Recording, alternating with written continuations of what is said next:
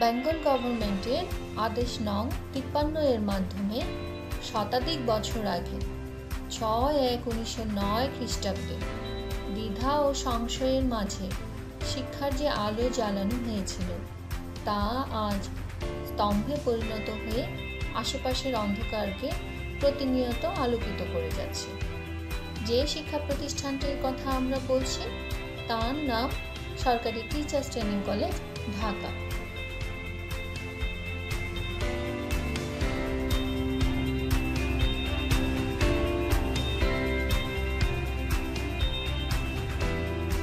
উনিশশো বিশ থেকে বত্রিশ সালের সময়টিকে টিচার্স ট্রেনিং কলেজ ঢাকায় স্বর্ণযোগ হিসেবে গণ্য করা হয়। তখন কলেজটিতে অধ্যক্ষ হিসেবে ছিলেন ডক্টর মাইকেল ওয়েস্ট এই সময়ে ভারতবর্ষে অর্থনৈতিক মন্দা সত্ত্বেও ডক্টর মাইকেলের চৌকস নেতৃত্বে টিচার্স ট্রেনিং কলেজ ঢাকা প্রভূত উন্নতি লাভ করে।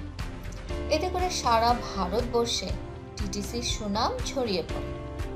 তখন শুধু বঙ্গপ্রদেশ থেকেই নয়, ভারতবর্ষের অন্যান্য প্রদেশ থেকে প্রশিক্ষণার্থী এখানে প্রশিক্ষণ নিতে আসতেন। এর মধ্যে উল্লেখযোগ্য হল মাদ্রাস মহীশূর, আসাম, হায়দ্রাবাদ ত্রিবাঙ্কু ইত্যাদি। এই দীর্ঘ সময়ে কলেজটিতে প্রশিক্ষক হিসেবে কর্মরত ছিলেন প্রথিতযশা অধ্যাপকগণ তাদের মধ্যে অন্যতম হলেন বিজ্ঞান লেখক আবদুল্লাহ আলমতি শরফুদ্দিন ঔপন্যাসিক কাজী ইমদাদুল হক মিলন, লেখক মঞ্জুশ্রী চৌধুরী হেমায়তুদ্দিন তালুকদার সহ আরও অনেকে।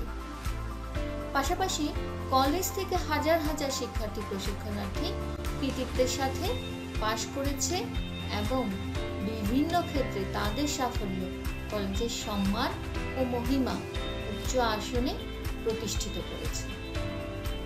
এদের মধ্যে অনেকেই আবার বিজ্ঞান প্রযুক্তি ও শিক্ষা ক্ষেত্রে তাদের অবদানের জন্য হয়েছে স্মরণীয় এবং বরণীয়। তাদের মধ্যে অন্যতম হলেন বিশিষ্ট লেখক আবুল ফজল, শহীদ জননী জাহানারা ইমাম কিরণচন্দ্র রায়, শেখ মোহাম্মদ আবু হামেদ, দিলারা জামান, আরও অনেক প্রশিক্ষণার্থী এবং শিক্ষার্থী। কলেজের প্রতিষ্ঠাকালীন অধ্যক্ষ ছিলেন mister Evan E. Biss. College থেকে উনিশশো ষোলো সালে বাংলার ডিপিআই হয়ে চলে যাওয়ার সময় তিনি বলেছিলেন this college should be the symbol of producing quality teacher তার মন্তব্য আজ সত্যে পরিণত হয়েছে।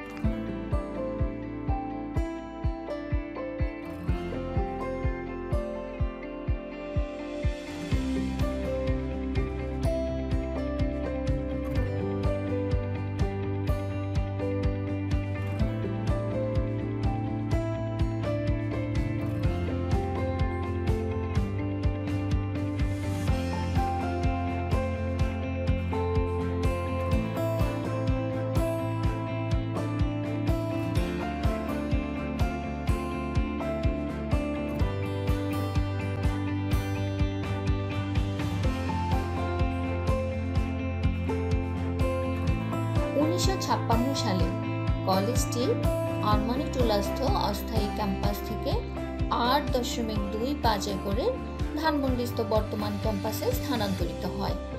এ বছরই, অর্থাৎ উনিশশো ছাপ্পান্ন সাতান্ন শিক্ষাবর্ষ থেকে বিটি কোর্সের নাম পরিবর্তন করে ব্যাচেলর অফ এডুকেশন বা বিএড করা হয় এবং কোর্স কারিকুলামেও পরিবর্তন আনা হয়।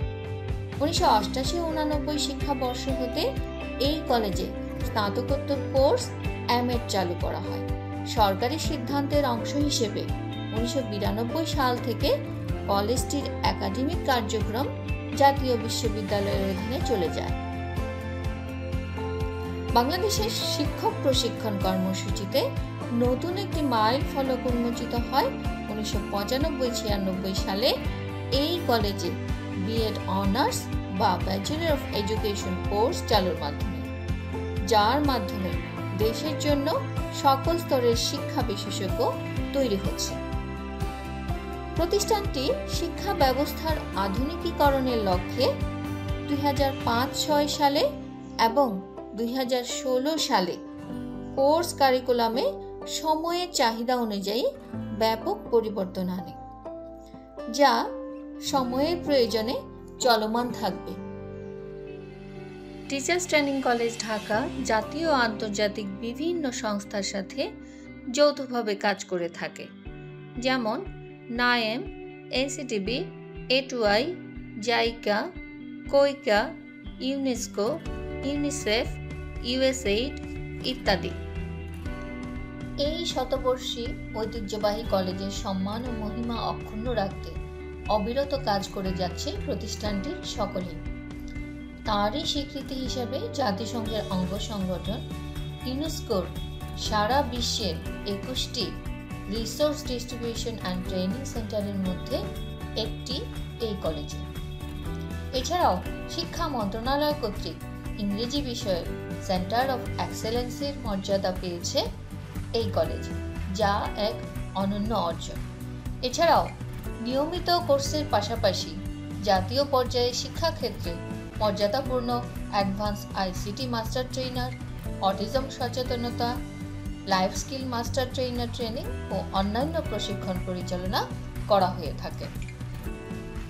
করোনা মহামারীকালে আমরাই প্রথম সারির প্রতিষ্ঠান হিসেবে ব্ল্যান্ডেড লার্নিং শিক্ষা কার্যক্রম কাজ শুরু করি। বাংলাদেশের প্রথম ফ্লিপড ক্লাসরুমের ধারণা টিচার্স ট্রেনিং কলেজ প্রয়োগ ও বিস্তরণ করে।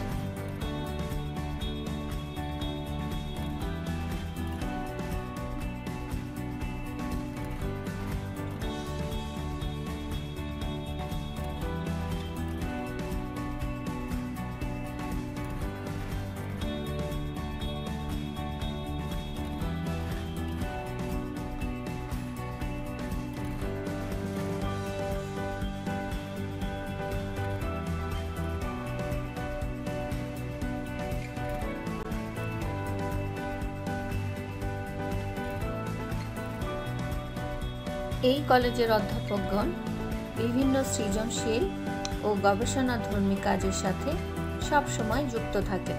কলেজের অধ্যাপকগণ জাতীয় পর্যায়ে যেমন প্রাথমিক ও মাধ্যমিকের শিক্ষক প্রশিক্ষণের শিক্ষাক্রম প্রণয়ন এনসিটিপি পুস্তক রচনা, শিক্ষক নির্দেশিকা প্রণয়ন, মহামান্য রাষ্ট্রপতির ভাষণ অনুবাদ সহ আরও অনেক কাজের সঙ্গে সম্পৃক্ত। তথ্য ও যোগাযোগ প্রযুক্তির ক্ষেত্রে সরকারের শিক্ষা বিষয়ক ওয়েবসাইটের ইন্টারফেস তৈরি ইন্টারেক্টিভ ডিজিটাল বুক তৈরি ও মাধ্যমিক স্তরের ই লার্নিং মেটেরিয়ালের স্ক্রিপ্ট রচনায় অগ্রণী ভূমিকা রয়েছে এই প্রতিষ্ঠানে। এছাড়াও, দুই হাজার একুশ ও দুই হাজার বাইশ সালে দুটি আলাদা আন্তর্জাতিক জার্নাল প্রকাশ করা হয় এই প্রতিষ্ঠান থেকে। সবশেষে বলা যায়, উক্ত কলেজের মিশন এবং ভিশন মানসম্মত শিক্ষণ ও প্রশিক্ষণ প্রদানের মাধ্যমে গুণগত শিক্ষার জাতীয় লক্ষ্য অর্জন।